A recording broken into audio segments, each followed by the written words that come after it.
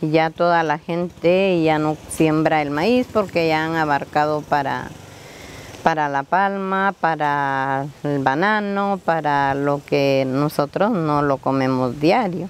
Entonces, ¿y qué? Ahorita ya no se ve igual. Ya no se ve igual todas las frutas por tanta, como le dijera yo, ya no muchos se logran todo eso por el veneno, digo yo. No, yo digo que es por eso, porque ya la hierba ya no se cosecha igual. Ahorita todo tiene químico. Cualquier cosita le hace mal al niño, pues hay que llevarlo al puesto de salud, o si no, más al hospital si es tan complicado. Yo crié mis, mis cuatro hijos, yo con nadie, me paré en un hospital, bendito mi Dios, pero era todo sano.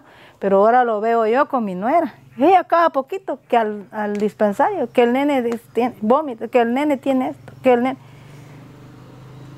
No le echo la culpa, ¿va? porque yo digo, ya son los tiempos que ya, nos, ya todo es contaminación. Pero es que ahora hasta a los niños les cuesta desarrollarse sanamente. En el tiempo de nosotros, los niños crecían sanamente. Pues. El avión que pasa fumigando mucho, como ya tanto, pues, tanto químico. Muchos se enfermaban también porque comían pescado. Ahora siempre hay enfermedades, porque no, porque el pescado tiene mucho alimento, bacalao casi ya no. Los niños siempre se enferman.